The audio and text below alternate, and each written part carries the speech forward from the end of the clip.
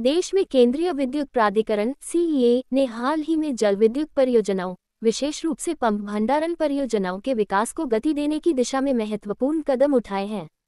Pump भंडारण विभिन्न ऊंचाई पर दो जल जलाशयों का उपयोग करके ऊर्जा भंडारण का एक अत्यधिक कुशल तरीका है।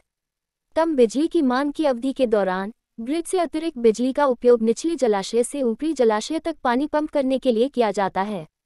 जब बिजली की मांग बढ़ती है तो ऊपरी जलाशय से निचले जलाशय में पानी छोड़ा जाता है, टबाइन चलाकर और बिजली पैदा की जाती है। देश की बढ़ती ऊर्जा मांगों को पूरा करने में पंप स्टोरेज परियोजनाओं की अपार क्षमता को स्वीकार करते हुए सीईए ने इन परियोजनाओं के लिए एक फास्ट ट्रैक अनुमोदन तंत्र लागू किया है। इस कदम का उद्देश्य अनुमोदन प्रक्रिया को सुव्यवस्थित करना और अनावश्यक देरी को खत्म करना है, जिससे निजी निवेश को बढ़ावा मिले और ऐसी परियोजनाओं को समय पर पूरा करने में मदद मिले। नए तंत्र के तहत सीईए ने परियोजना अनुमोदन के विभिन्न चरणों के लिए स्पष्ट दिशा निर्देश और समय सीमा निर्धारित की है। डेवलपर्स को अब व्यवहार्यता अध्ययन, पर्यावरणीय प्रभाव आकलन और तकनीकी आर्थिक मूल्यांकन सहित व्यापक परियोजना प्रस्ताव प्रस्तुत करने की आवश्यकता है। सीईए ने मूल्यांकन और अनुमोदन प्रदान करने के लिए अधिकतम 180 दिनों की समय सीमा निर्धारित की है, जो समयबद्ध निर्णय लेने की प्रक्रिया को सुनिश्चित करता है। फास्ट ट्रैक अनुमोदन तंत्र में कई प्राधिकरणों से समवर्ती मंजूरी के प्रावधान भी शामिल हैं। पहले डेवलपर्स को विभिन्न एजेंसियों से मंजूरी के एक जटिल वेब के माध्यम से नेविगेट करना पड़ता था, जिसके कारण अक्सर लंबा विलंब होता था। हालाँकि, नई प्रणाली के तहत सीईए अन्य संबंधित प्राधिकरणों, जैसे पर्यावरण एजेंसियों और जल संसाधन विभागों के साथ सहयोग करता है, ताकि मंजूरी के समानांतर प्रसंस्करण की सुविधा मिल सके। ये सिंक्रनाइज दृष्टिकोण आवश्यक परमिट प्राप्त करने के लिए आवश्यक समय को काफ़ी कम कर देता है।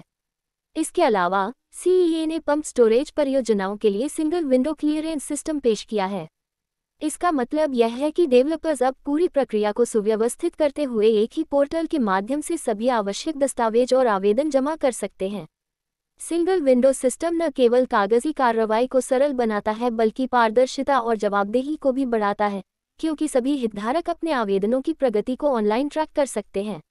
फास्ट ट्रैक तंत्र के प्रभावी कार्यान्वयन को सुनिश्चित करने के लिए सीईए ने पनबिजली परियोजनाओं के मूल्यांकन और अनुमोदन के लिए समर्पित अपने कर्मचारियों और संसाधनों में भी वृद्धि की है।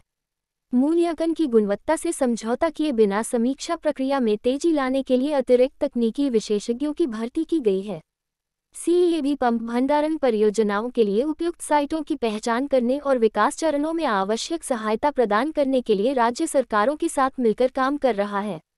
पंप स्टोरेज परियोजनाओं के लिए फास्ट ट्रैक अनुमोदन तंत्र देश के ऊर्जा क्षेत्र के लिए कई लाभ रखता है। सबसे पहले, यह एक सुव्यवस्थित और समयबद्ध अनुमोदन प्रक्रिया की पेशकश करके पनबिजली में निजी निवेश को प्रोत्साहित करता है। ये बदले में प्रतिस्पर्धा और नवाचार को बढ़ावा देता है। जिससे अधिक कुशल और लागत प्रभावी परियोजनाएँ होती हैं।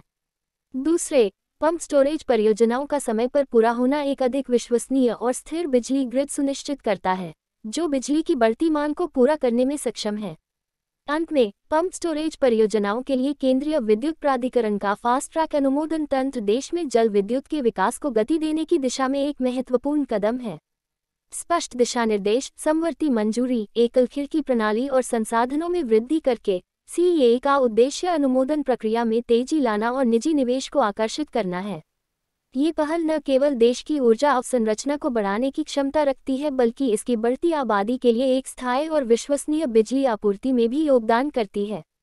ये था केंद्रीय विद्युत प्राधिकरण पंपयुक्त भंडारण परियोजनाओं से जुड़े कुछ मुद्दे। वीडियो अच्छी लगी हो तो लाइक, शेयर और सब्सक्राइब करें।